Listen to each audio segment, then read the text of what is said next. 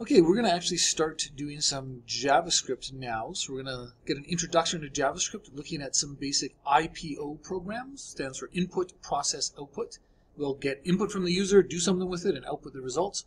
But first, we're just going to do a simple Hello World program. That's the classic introductory um, program that you make when you're learning a new language. So JavaScript is actually a programming language. HTML and CSS were just markup and style languages but we needed to use learn those so that we could run our JavaScript in the web pages. Okay, because we're going to run our programs and use HTML and CSS as the, the GUI, the graphical user interface. Anyway, so we're going to learn uh, how to run JavaScript. We'll learn about the alert function and the developer tools. So let's get started. So I'm going to start a new project, right? Go to our F drive, the CS10 folder, and in here, let's create a new folder called Hello world and I'm going to right click and open that with code or open Visual Studio Code and go open folder or drag the folder into the open area here, it doesn't matter. Okay, all sorts of release notes and welcome. This is what I care about, right? Hello World is my project folder. We need to create an index.html as before, right, when we were doing web pages. Um, sure, let's create a style.css. And here's the new file we're going to need. We're going to use a main.js. Sometimes it's called script.js. It doesn't matter, kind of a basic main script.js. It's called a script as in the, the script for the program, right? The, the commands that it's going to run. Okay, so HTML, we know all about this. We know how to do our, our doc type HTML. We need a root element, we need a head element, we need a body element. Inside the head we can do a title, and I'm just going to say hello world. We'll link to our style sheet. Inside here we'll do an H1 that just says hello world. And we'll save that. Prettier formatted it nicely for me. Let's go live. And hopefully, ta-da! Hello world. Let's do some basic styles actually. I'd like to um, select the body, oops, body, and give it a width of like 600 pixels. Do the whole margin auto thing. And you know what, that should, and maybe a font family. Font family, what's a nice base font? I actually like using this Apple system. It's a super long one, but I like it. I don't even know what does. It's, it finds like a nice font on your system. Okay. Um, let's go here. There we go. Hello world. Let's add a little paragraph as well. Um, this is my first attempt at JavaScript. We haven't done any JavaScript yet, but here we go. All right. So, in order to run JavaScript, we're going to write um, JavaScript commands in this file here, main.js. Okay? And we did a little introductory activity at the start of um, CS10 where you guys did the Star Wars thing, the code.org, right? And you had to do these commands, and it was like, move forward, turn left, blah, blah, blah, right? So that's what we're doing here. We're going to enter commands into this main.js. Um, and the reason we have these three files, right, is HTML is the content and structure of the web page. Um, the CSS file is the style sheet, right? The styles of the web page, and the JavaScript is the the inter, um, the uh, what the website does, right? How you interact with the user. Okay, so it's good to separate these things together. Um, and just like in our HTML, we link to the style sheet. We need to also tell the web page, right? When we open the HTML file in the browser, we need to tell the browser, hey, run the JavaScript inside of main.js. Um, instead of linked, um, link, sorry, there's actually a script tag. And we're going to use this Emmet, um, the script with the source. Um, so it has an, an opening script tag and a closing script tag. And we're not going to do anything inside um, because we're going to give it a source, main.js. And by doing this script tag, it'll run whatever JavaScript commands we have in main.js.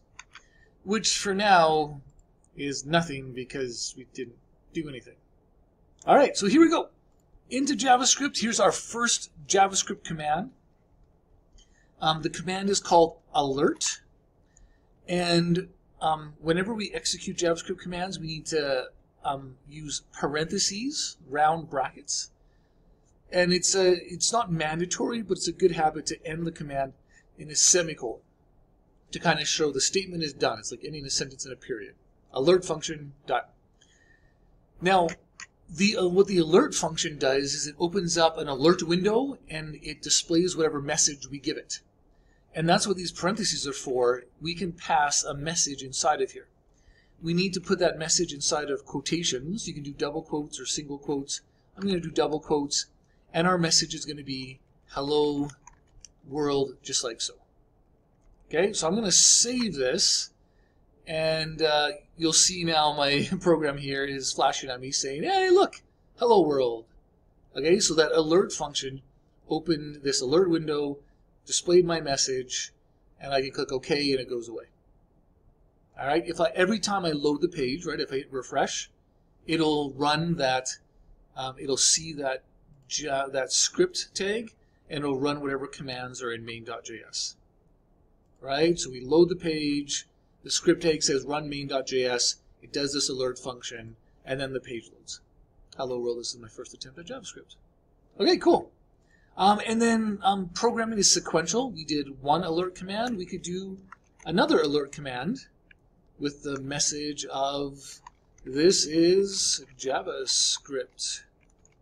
And again, a semicolon. We go back here. It says hello world. This is JavaScript. All right. Um, I'd like you to try to do another alert function. Send, say, your own message. Say hello from whatever your name is or whatever you want to say.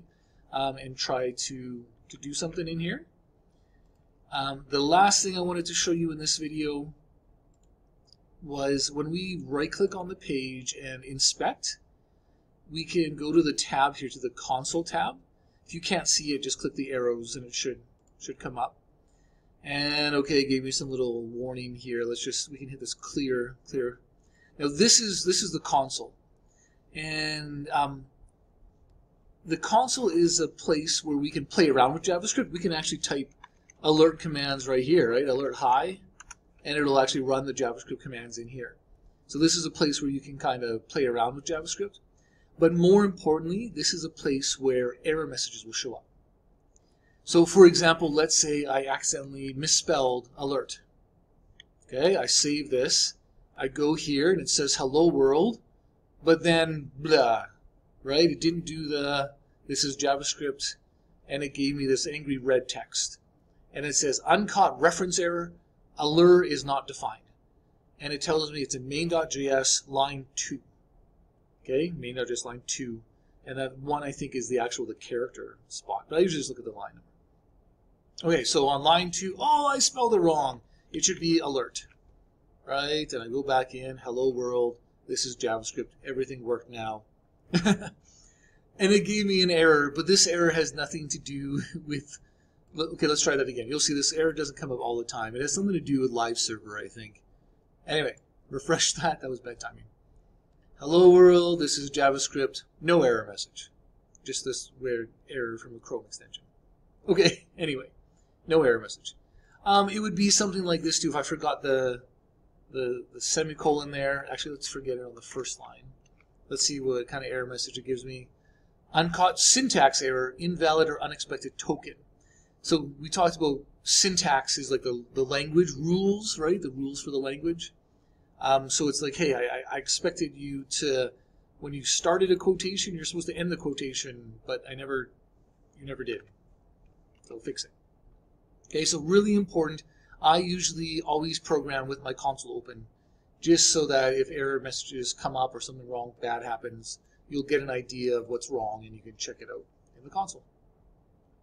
Okay, so we run JavaScript using that script tag in our HTML.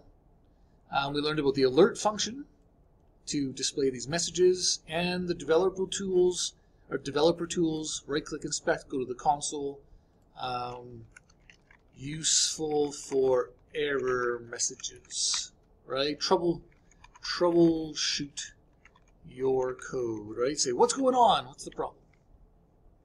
All right, that's your introduction to JavaScript. It's a small introduction, hello world, but uh, we will learn more. All right, hope that made sense. Take care, and we'll see you next video.